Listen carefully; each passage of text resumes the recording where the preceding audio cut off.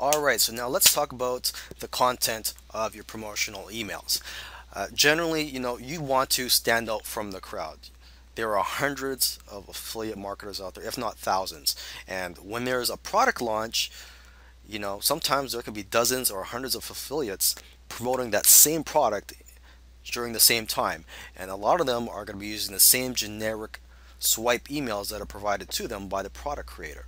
So you have to stand out from the crowd and you also want your subscribers to know that hey look you know you're not just some marketers you're not just some marketer that is emailing messages that he just copies and pastes you know. You have to write your emails from the heart. You know you want your subscribers to know like hey look this guy has a personality. You know he's got a nice message I like and I'm gonna look forward to his emails every day because he's got something nice to say every day. He's not just sending the generic um, email marketing message that you see every day in your inbox. So that's the first thing I want to mention to you is that you should write from your heart.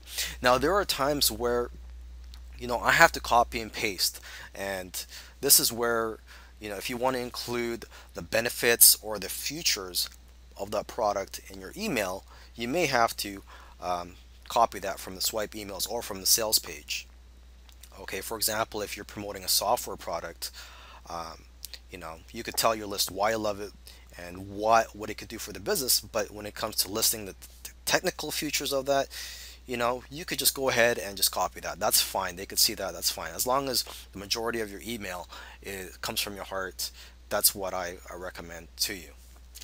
Okay. Uh, another tip here is if you offer bonuses, uh, which I do from time to time for high-paying affiliate products, you know, if you, if you offer bonuses, you have an angle to work from, an angle to to talk about the product from. So if you do not have anything nice to say about that product, you could just speak about the bonuses and then talk about um, the main offer.